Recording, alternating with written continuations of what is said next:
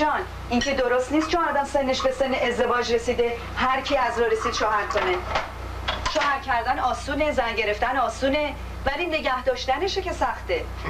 شما جوانا همه چیز تجزیه و تحلیل می‌کنید همه تو فیلسوف شدون پدر جنابالی 19 سالش بود مادرت 13 ساله که با هم ازدواج کردن. تا شب عروسی هم همدیگر رو ندیده بودن. الانم چرا هفت ساله دارن به خیر و خوشی با همدیگه زندگی می‌کنن؟ نگهداریش آسونه نگهداریش مشکله. خب هر کس دنیا رو یه جوری می‌بینه. بفرمایین در رو باز کنیم ببینین کیه. فلسفه هم نبافین خواهش می‌کنم. حتما ترانه است. آمریکا اومدن همه فیلسوف شدن. ای بابا عجب.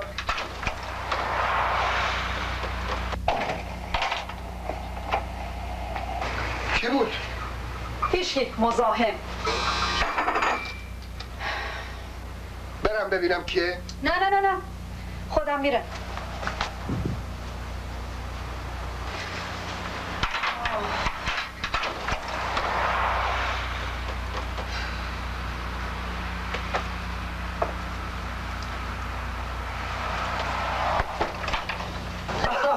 جان گل آقا واقعا که شما شاهکار زدین. یعنی اگه چهار نفر تو این شهر مثل شما پیدا بشن و بیان تو این تلویزیون ها این حرفایی که شما زدین بزن بزنن دیگه ما هیچ غمی نداریم خدا شاهده. واقعا که شاهکار بود. ببخشید این چیه؟ این؟ تفنگ.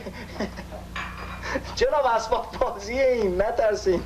شما همینجور که حرف نمی‌زدین خدا شاهد این آقای گاندی با این آقای کندی همینجور جلو چشمای من راه می‌رفتن. یعنی همون استایل شما دارین و همون ابهتون. اینم من برای شما بود خیلی ممنون لطف دارید. خواهش می‌کنم. ببخشید میشه من چند لحظه با شما صحبت کنم. با منی؟ بله. من برم من برم لباسامو تنم کنم بیام. بفرمایید شما. خیلی خوش آمدید. مشرف فرمودید. بفرمایید آقای سعید خان منظر خودتونه. من الان می‌رسم خدمتون. دو دقیقه طول می‌کشه. پوری جان شونه منو کجا گذاشتی؟ آنچه رو که ملاحظه کردیم قسمتی از سریال پرواز بود که توسط آقای حمید نادری نوشته و اجرا شده بود این سریال در سالهای 89 و 90 با شرکت آقای پرویز کاردان در کانالهای تلویزیونی لس آنجلس پخش می‌شد. آقای حمید نادری نمایشنامه تنظامیز دیگری به اسم سوراخ نوشتند که با شرکت آقای کاردان و خانم مینو ابریشمی در برخی از ایالتهای آمریکا از جمله ایالت اورگان خودمون روی صحنه رفت.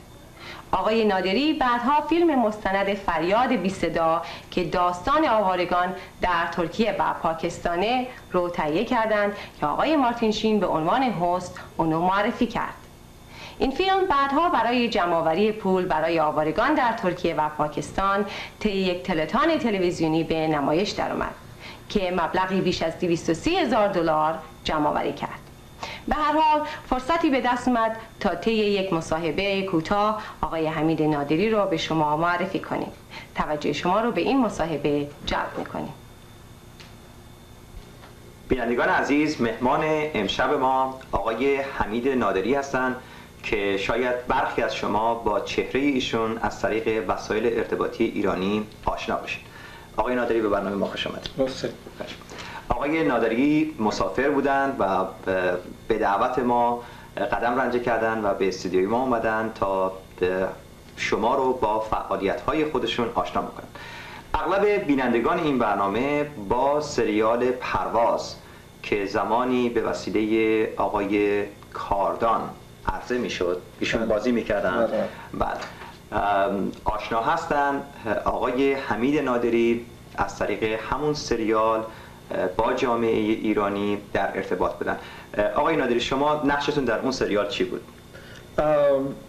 از بدین قبل از هر چیز من خدمت بیننده های شما سلام عرض بکنم و از شما و همکاراتون که می‌بینم با همچین علاقه ای این کار رو ادامه بدین تشکر بکنم. من قبل از سریال پرواز با تئاتر سوراخ بله. وارد جامعه ایرانی شدم بله.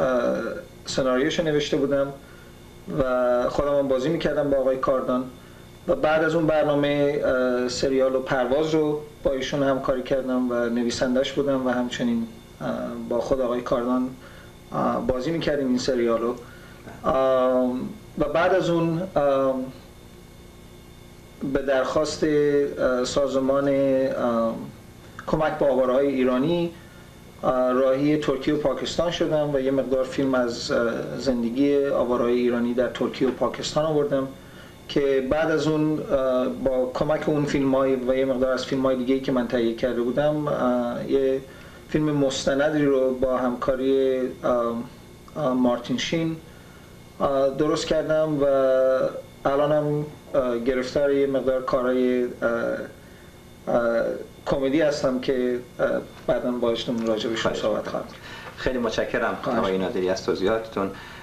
نمایشنامه سوراخ فکر می‌کنم در سال 1990 در پورتلند خودمون روی صحنه رفت و اغلب بینندگان این برنامه با اون نمایشنامه به حال آشنایی اه، آقای نادری شما در صحبتی که ما قبلا با هم داشتیم اشاره فرمودین که تحصیلاتتون رو در زمینه سینما در دانشگاه USC ادامه دادین و از طریق همون تجربیات وارد کار سینما شدید. درسته؟ بله بله. ممکنه در این مورد بیشتر برای بینندگان عزیز ما توضیح بدید البته اجازه بدین که من بگم که من اه، لیسانسم رو در رشته تئاتر گرفتم از دانشگاه UCSB و فوق لیسانسم رو از دانشگاه لویالا میرمونت در لس آنجلس و برای ادامه تحصیل و گرفتن دکترا به USC رفتم که هنوز یه مقدار یک سال و نیمی از این دوره هنوز مونده که تموم بشه. خیلی ممنون آقای نادری از توضیحاتتون. من می‌دونم که شما قبلا در برنامه های تلویزیونی شرکت داشتین و به عنوان کارگردان بازیگر و همینطور سناریست فعالیت می‌کردین. و بعد با ساختن فیلم داکیومنتری یا مستند فریاد بی صدا که با شرکت مارتین شین بود شما به سوی فیلم های مستند پیش رفتین. ممکنه که برای بینندگان عزیز ما توضیح بدین که دلیل این تغییر مسیر ناگهانی چی بود. والا نمی‌دونم اسمش میشه گذاشت تغییر ناگهانی همونجور که شما گفتین ولی چون من کارم رو با تئاتر شروع کردم و تا اونجایی که می‌دونین کار تئاتر به عنوان مادر سینما و تلویزیون شناخته میشه به نظر من کار مستندم توی کار تلویزیون و سینما به عنوان مادر شناخته میشه. و به عنوان تجربه و آموختن یه مقدار تجربه من تصمیم گرفتم که این کار رو بکنم و همینجور در اون زمانی که من این کار رو درست کردم مسئله آواره های ایرانی و آواره ها به طور کلی مسئله مهمی بود. و خوشبختانه تمام مسائل دست به دست همدیگه دادن و با همکاری آقای مارتین شین تونستم این کار رو انجام بدم که ام، خیلی ارضا کننده بود با- برای خودم حداقل This is an example of refugees in the making. All their dreams of finding comfort outside of Iran's borders gave way to harsh realities and nightmares they had never dreamed of. We are being annihilated. This is not living.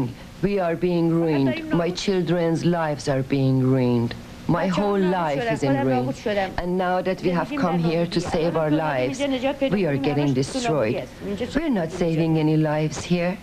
And anywhere we go, nobody gives us a helping hand and nobody even looks at us to see who we are, why we have come here and where we're going. We have nobody, only God and you, and that is if you do something for us. Not for me, mind you. I don't want anything for myself. All I need is a piece of bread and cheese, and I will thank God for it a thousand times. But my children, something must be done so I can free them out of Iran. One has disappeared, but I don't want the other three to get killed. Because of cold weather, we warm these up and hold them at night to keep warm. They have nothing. Everyone has a way of supporting themselves, except us. خیلی متشکرم آقای نادری یک سوالی برای من پیش اومد با توجه به تجربیات سابق شما و کارهای کمدی که قبلا داشتین مثل همون نمایشنامه سوراخ و همینطور سریال پرواز که نوشته بودید و اون چیزی که من اسمش رو گذاشتم تغییر جهت ناگهانی که شما به طرف فیلم های غمانگیز مستند رفتید. امروز دوباره میشنوم که شما درباره کمدی صحبت می‌کنید. چطور ممکنه که یک نفر که فیلم مستند غمانگیز فریاد بی صدا رو می‌سازه واقعا علاقه اصلیش به کمدی و فیلم های باشه؟ اجازه بدین که من جوابتون رو با یک ضرب مثل آمریکایی بدم که میگه که زندگی تراژدی است برای اونایی که احساسش می‌کنن و یک کمدی برای اونایی که راجبش فکر می‌کنن.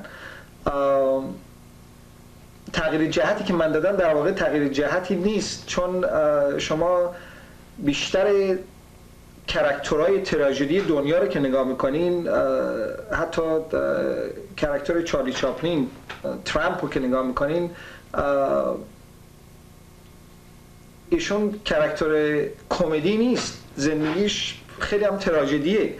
مسئله اینه که به دید کمدی به مسائل نگاه بکنی شاید بتونی راه حلی براش پیدا بکنی و این رفت و برگشت به مسائل غم و تراژدی و کمدی در واقع روی خط وجود دارن. چون به مسائل در آن واحد که شما می‌تونی خیلی تراژیک نگاه بکنی می‌تونی کمدی هم نگاه بکنی. خیلی ممنون آقای نادری از توضیحاتتون. بازم من از شما تشکر می‌کنم با وجود وقت بسیار کمی که داشتین این فرصت رو به ما دادین که امروز این مصاحبه کوتاه رو با شما داشته باشیم.